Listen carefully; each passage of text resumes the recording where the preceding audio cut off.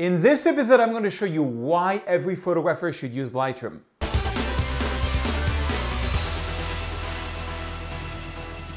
Bonjour, mesdames et messieurs. My name is Serge Ramelli. I'm a French photographer from the amazing city of Paris, France, living in Los Angeles, California. And in this short episode, I want to show you why every photographer should be using Lightroom. Check it out. Why should every photographer use Lightroom? This is a great question. You know, when I heard about Lightroom years ago, I was just using Photoshop and I would, you know, go into Bridge and open one photo into Camera Raw and retouch it. And then, you know, eventually, uh, you know, uh, take up, up another photo and another photo. And it just would take a lot of time to, to retouch a photo. Now I show you how you can do this in Lightroom much faster. This is a shot that I did of tunnel view in Yosemite. Yosemite, I don't know how you say it in English. And um, so usually what I do is I'm going to give you some free presets that you can download. The link is on the video. It's all free. You just click on it and some of it I'm going to be using for this. But for example, I'm going to go into my natural everyday preset and I'm going to click on the golden hour. I think it's the one that, that worked great with this one is the golden hour linear circle light. I think the one I'm giving you for free is called golden hour linear but you know same idea i'm going to use the one i'm giving you for free so you don't get confused and also i'm going to give you a video on how to install them and how to use them with a lot of examples and raw files all free it's under the video so uh, I'm going to do my black point, which is way too strong. So you see, uh, with Photoshop, you can use presets, but it, you cannot have radial circle and linear gradients in your preset. That's one major downside of, of uh, Photoshop presets.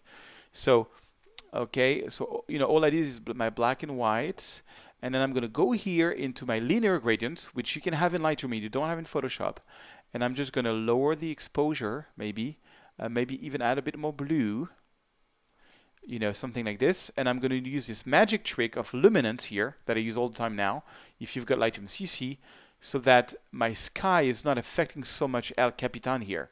What it does is that it creates a little mask you know and remember how mask works which is black conceals and white reveals so you want the sky to be white and you want El Capitan to be you know grayish dark this way uh, my gradient is influencing mostly the sky.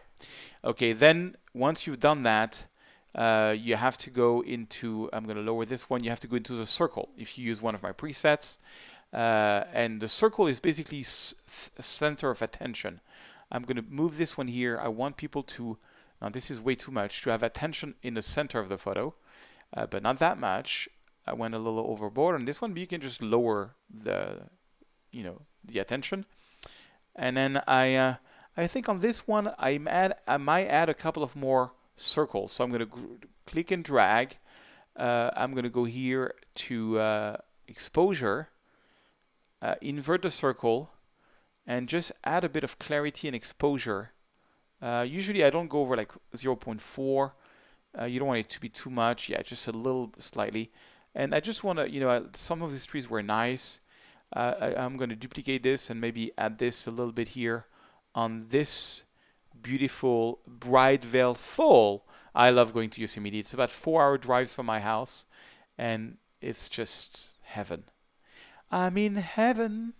I'm in heaven and I love Yosemite. It's just ooh, one of these national park. You just I when I go there I'm like I feel you know that you feel the power of nature. Okay, that's good maybe add a bit of contrast, maybe boost the overall exposure. So you see, I use the preset as a starting point, but like my photo is mostly retouch. But, you know, I shoot manual. So that means that for every photo that I have, I have, you know, the same aperture, the same uh, f-stop, uh, this is the same shutter speed, the same ISO, okay? So these three photos, you see I put a color, I prepared this tutorial, have the same settings. So I can just right click, click synchronize, uh, make sure check all and synchronize. And now all I did uh, has been done on this photo and I can decide right away which one I like the most, you see.